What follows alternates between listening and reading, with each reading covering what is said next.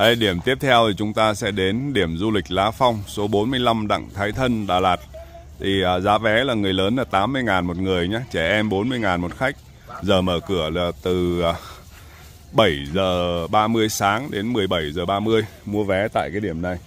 Sau khi mua vé xong đó các bạn là đi qua đây thì uh, trước cửa này có hình kiểu như hai con uh, không biết là con rồng hay con chim gì ta, con rồng á. dạ xin chào chú. Dạ rồi. Qua cổng hai hình con rồng rồi đi vô đây. Đó. Thì đây ờ, bên phải này cũng có nội quy này rồi toilet các thứ thì mình sẽ đi xuống phía dưới này. Đó, toilet thì đi xuống dưới.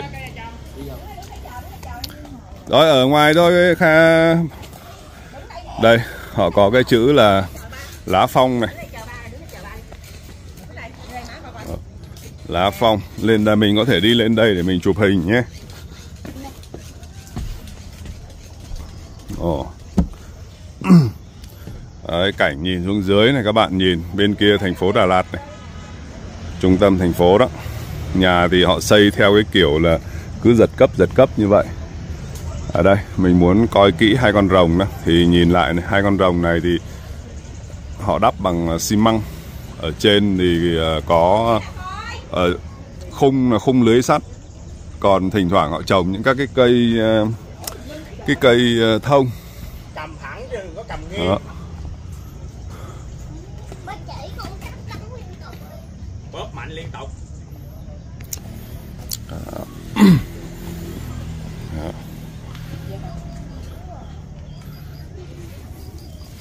Rồi đi với má đi qua cửa này. Đi với má đi. Đây khách đi qua cổng thì một cái cửa gỗ nhìn trông cũng uh, khá là dễ thương.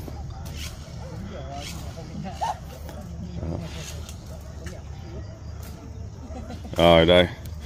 Ồ bắn cao lên. Nè ca. Đó, trời rất là đẹp, rất là chill nha. Ồ.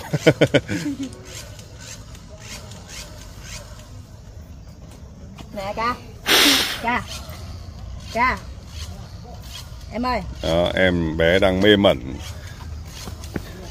Ú. Bắt đi, bắt đi, bắt đi, bắt đi. à. ô rớt rồi. à. Đây chúng ta sẽ đi tiếp sâu ở phía bên trong. Thì ở đây đó là có những các cái ờ, đèn họ trang trí theo cái kiểu là đây là các bạn này. Đó trong này là trên là, là bằng gỗ. Sau đó rồi họ ờ, trong là cái đèn meca thôi. Cái này là làm ờ, trang trí ờ, một cách rất là tự nhiên. Tức là sử dụng các cái vật liệu thiên nhiên để làm.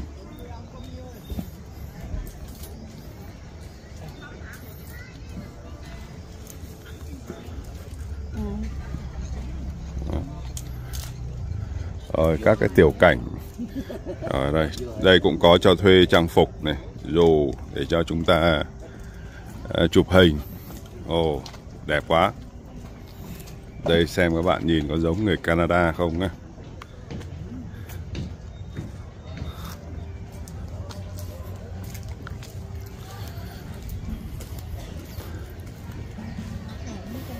đây thì họ có cho thuê khá nhiều các cái loại trang phục uh, truyền thống của Nhật Bản này, của Hàn Quốc để cho chúng ta uh, chúng ta mặc để chụp hình.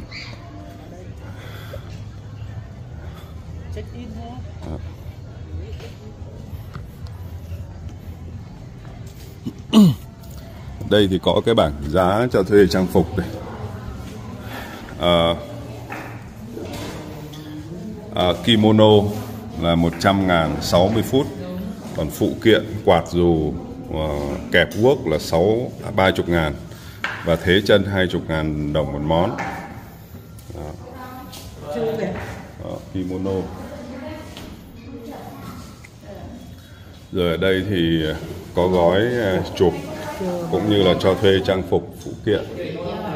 Đây các bạn này có thể à, test thử này.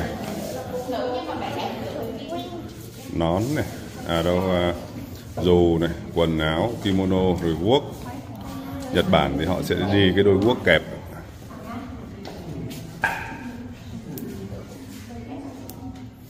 Trang phục thì có cả cho nam cho nữ có cả cho em bé luôn.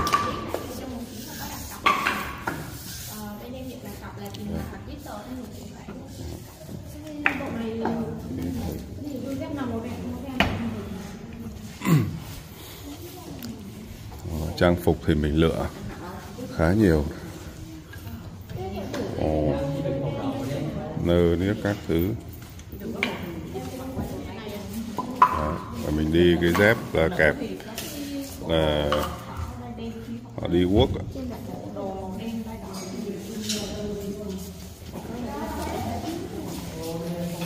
trang phục phụ kiện thì có quạt có túi.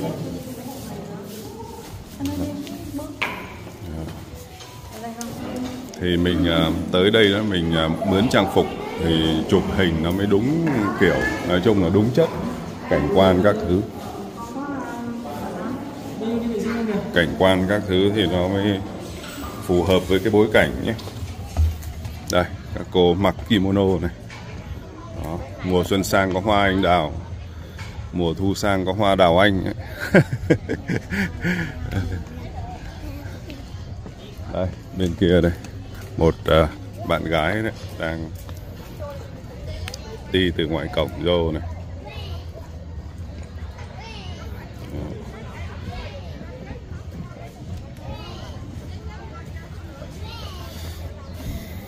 Chúng ta sẽ đi gần hơn vào phía bên trong.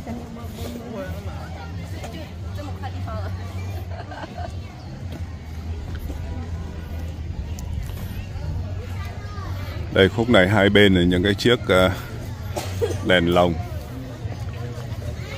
rồi uh,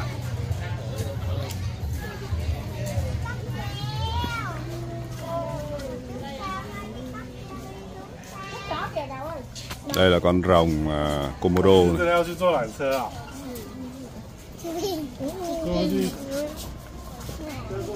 Đấy, những cái chiếc uh, lồng đèn phong cách Nhật Bản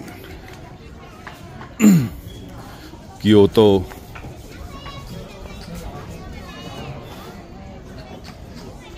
Ai thích uh, chiêu chiêu chụp hình sống ở đây ở khu phố Nhật Bản.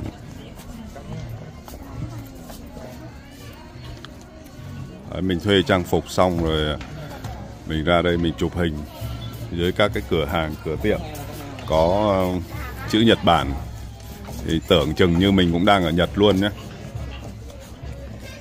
Đó.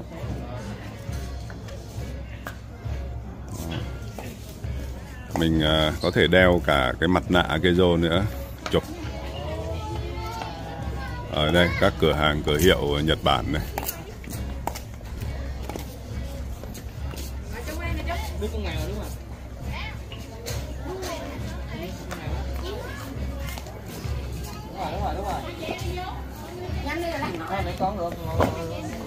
ở đây thì nó hơi à, ngược sáng một chút xíu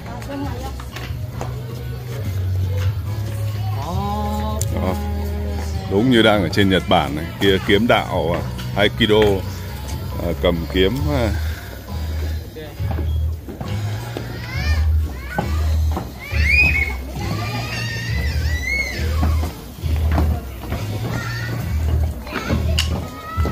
đây mình cũng có thể đi lên những các cái uh, lầu ở phía bên trên này các bạn nhìn này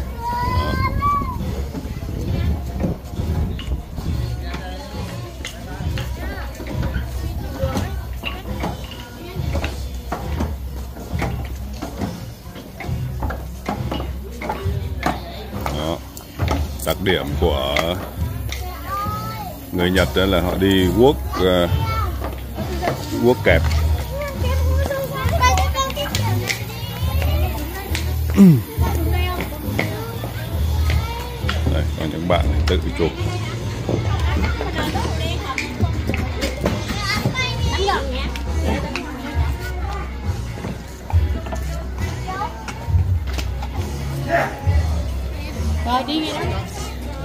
Đây một cái khung cảnh.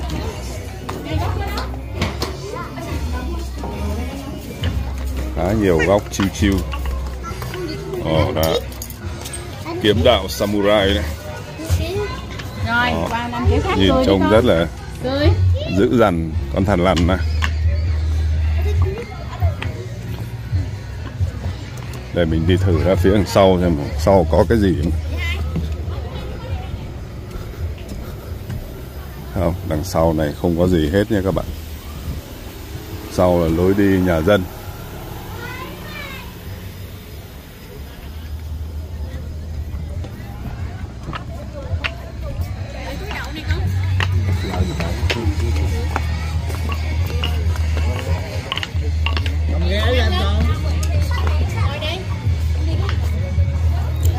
khu này là các cái khu vườn Nhật Bản hồ cá coi này.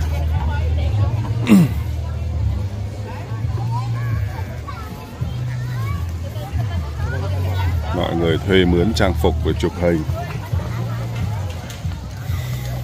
Đấy, cảm giác ở đây các bạn thấy có giống như Nhật Bản. Không? nói chung có lẽ là du khách Nhật Bản thì họ sẽ không thích cái kiểu này bởi vì lý do tại sao? Bởi vì đất nước của họ đã có rồi.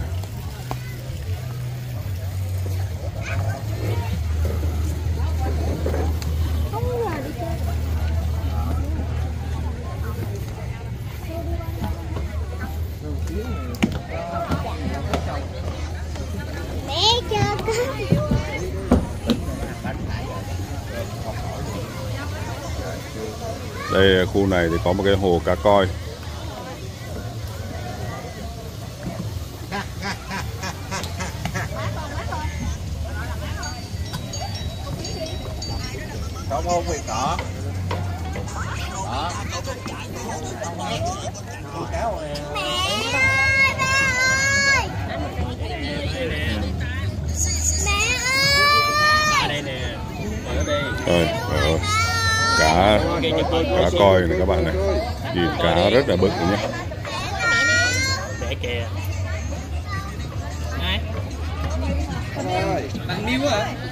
Ồ, dạ. yeah.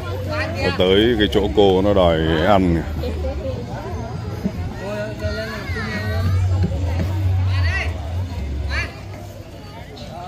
đó trời. Rồi cá tới quá trời các bạn nhìn kìa đó. Cá tới tưởng là được cho ăn. Đây mình sẽ thử. Lên lên lên.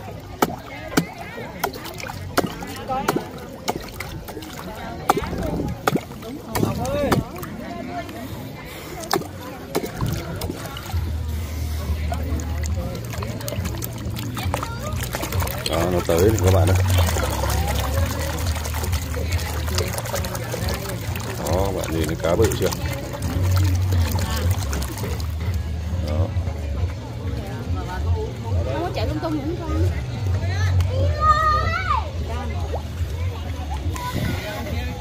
trời cá kìa.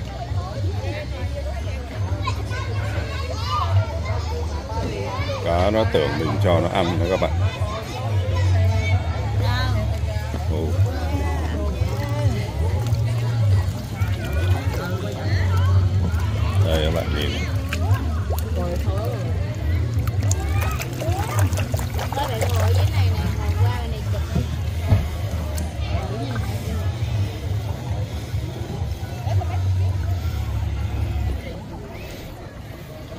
Đây, mình có thể đứng ở đây này. Đứng ở ngoài kia xong chụp cái kiểu này nữa các bạn này. Khá nhiều góc để cho chúng ta chụp hình nhé.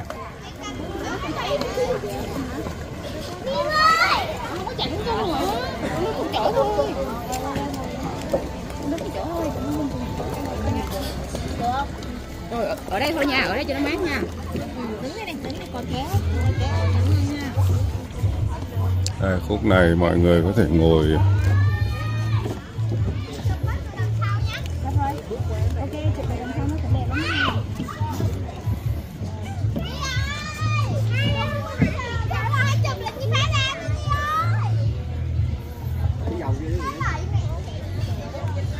Những cái- cái góc chụp khác này các bạn Đấy, ông chụp cho bà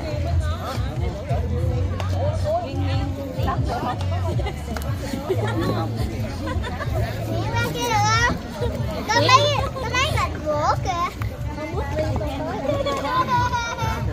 Ngủ rồi mẹ.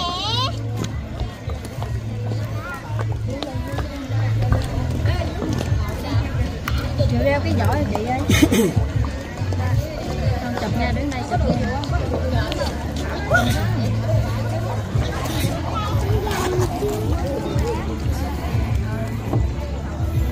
chung là khu này thì à, có hồ cá coi này các cái trang phục của Nhật Bản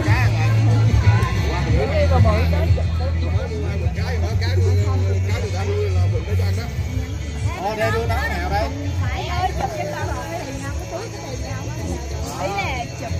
cá coi Chút người ra hồi chụp cái về luôn.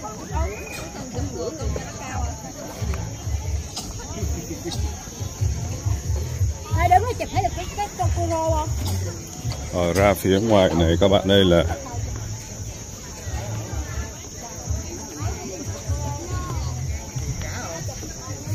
rồi cá. Ồ.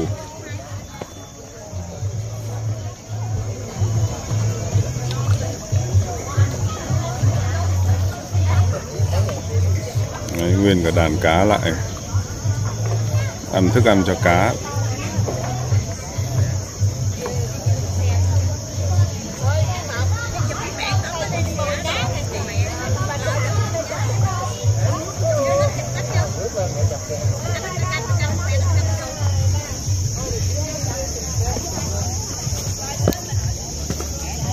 Rồi, phía bên ngoài này các bạn ơi, cũng có những các cái bàn ghế để cho mình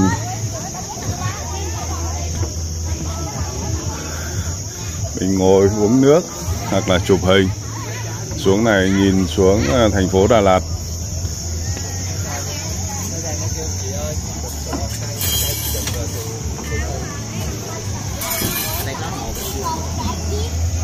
đây các bạn nhìn này Đây, các cái có khá nhiều tiểu cảnh cho chúng ta chụp hình nhé.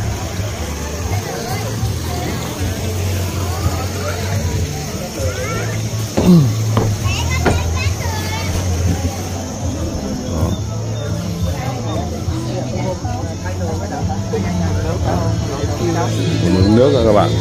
Cái chỗ này.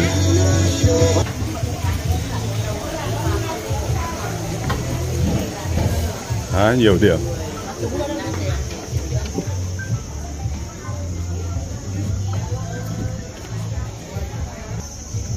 Đây, khúc này.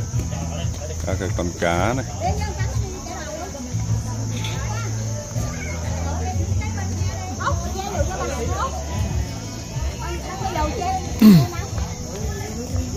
Rác lấy, có sao đâu Vô đi chứ. Còn đi đứng rồi qua Em lên trên à, em lên trên Hoàng Long ô ô ô. thuê trang phục rồi chụp hình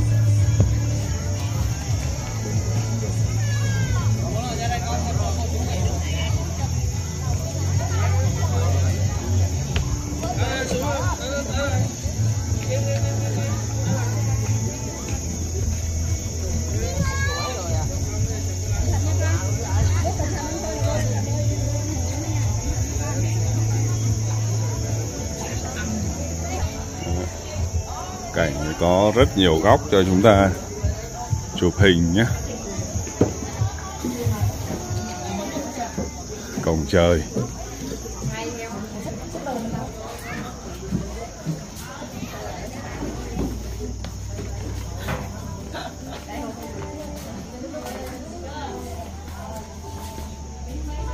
Khu vực này ờ, đây cũng là, là lần đầu tiên mình tới.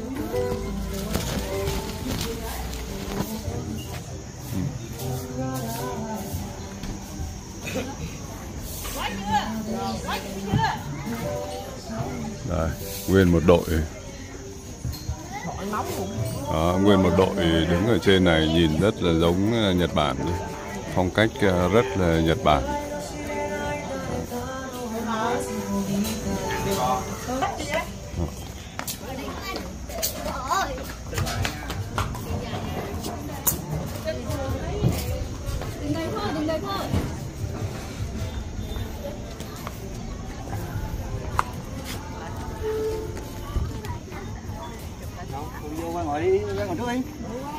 Ủa, đi qua ngồi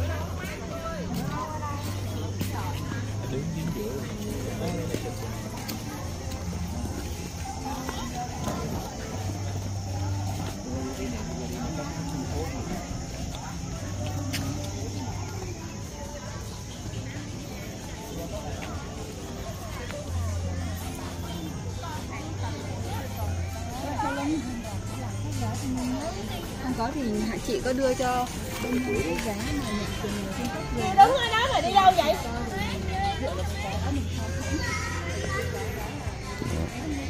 Khách tới rất là đông nha các bạn. Các cái điểm du lịch ở Đà Lạt đặc biệt là những cái điểm mà có cái view đẹp thì mọi người tới để chụp hình.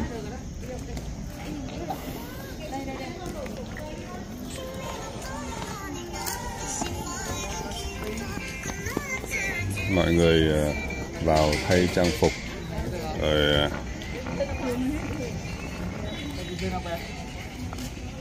thuê trang phục ở đây. Bây giờ đi qua quán cà phê uống cà phê nè.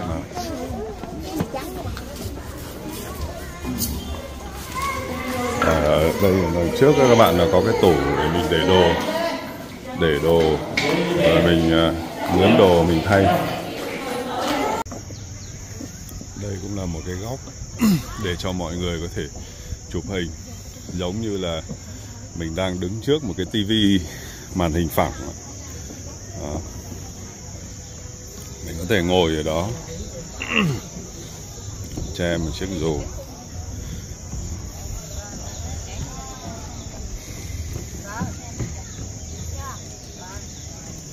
giống như khung hình của cái chiếc tivi ấy.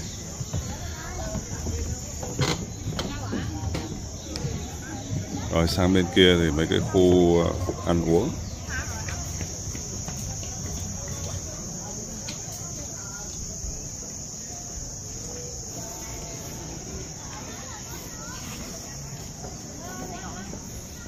Nếu mà xác định đến đây chơi đó thì các bạn nhớ là thuê trang phục. Thuê trang phục à, sau đó thì mình chụp hình thì nó sẽ sẽ đẹp hơn. Nói chung nó sẽ phù hợp với cái bối cảnh. Phù hợp với cái bối cảnh của ờ, không gian nơi này. Đây là một cái bức hình. Người đàn ông đang ờ, xả cái lu nước này. Người phụ nữ thì đưa tay hứng nước.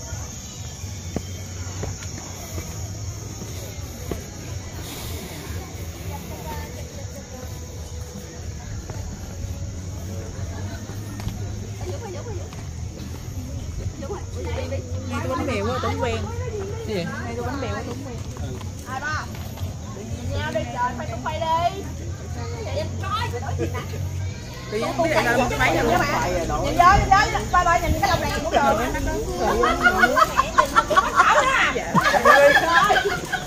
Trời trời đi không tao đi ba con từ từ từ từ đi.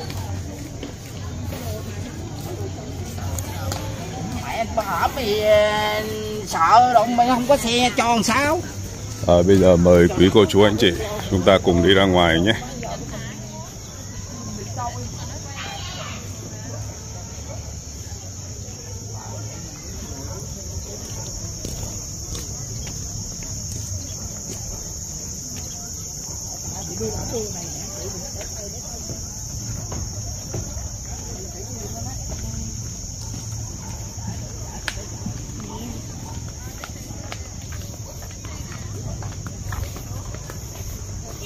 Rồi tới đây thì mình cũng xin ờ, tạm dừng video. À, cảm ơn các cô chú anh chị đã dành thời gian để theo dõi. Hãy đừng quên bấm nút like, đăng ký kênh để ủng hộ Tuấn Dương ra nhiều video clip mới nhé. Rồi hẹn gặp lại cô chú anh chị trong những video tiếp theo. Rồi con ra ngoài đây rồi cô. Dạ, con đã ở ngoài cổng ạ. Con ở ngoài cổng. Vâng ạ. Cô cứ chơi đi. Dạ, dạ, dạ. Ờ, rồi 15 ngàn kẹo chỉ tơ hồng rồi lấy cho cái đi người đẹp. Kẹo chỉ tơ hồng. à. đây là cho dừa này rồi uh, sữa này ít uh, đậu phộng này tất cả các thứ các chị là dùng bằng tay tự nhiên luôn nhé. Cái đó là cái gì chị? Là kẹo à kẹo. Bung ra thành sợi bung ra thành như sợi chỉ đúng không? Đó. Có mùi dầu. Thế xong rồi kẹp lại thôi đúng không? À, đây là 15 ngàn.